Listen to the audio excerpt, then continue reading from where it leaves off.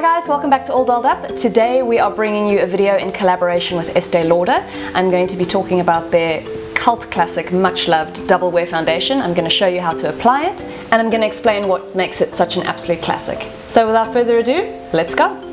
So as fate would have it, today is the perfect day for me to be using Double Wear Foundation because I have a lot of redness in my skin. I've got some leftover scars from recent blemishes and I've also got quite a lot of redness in my forehead and my um, on my eyelids actually. That makes it the perfect foundation because it is nice and buildable. It's a medium coverage but you can build it up to a fuller coverage if you need it.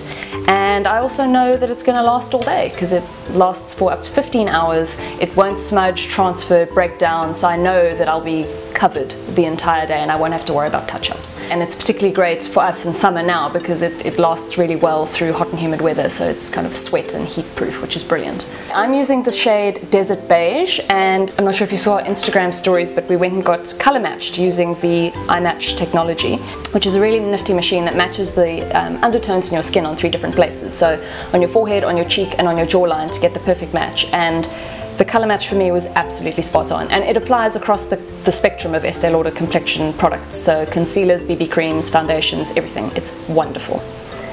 So I'm gonna just pop this on and then blend it with a foundation brush.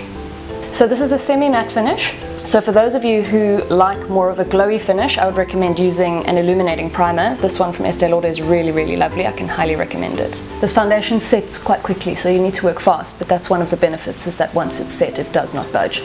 So I'm kind of buffing it and then stippling on top just to really push it into my skin. If you want full, full, full coverage, use a flat foundation brush and stroke the product onto your skin. That'll give you proper full coverage. Hope you guys can see how well it's covering the redness and also just how great the color matches. Don't forget to take the product down your neck as well just to ensure continuity. There's nothing worse than having that tide mark of foundation. Okay, so that's the application finished. I think you'll agree that it looks fantastic. This is a really great foundation for special occasions, weddings, that kind of thing, big evening events, because as I've said before, it just doesn't budge. It stays put for hours and hours and hours. So I'm just gonna finish off the rest of my makeup, and today I'm gonna be doing kind of like a modern classic look. It's gonna be quite neutral, very easy to replicate, and I'm gonna be putting all the products in the description box below, so if you want to get your hands on them, you'll know exactly what I've used.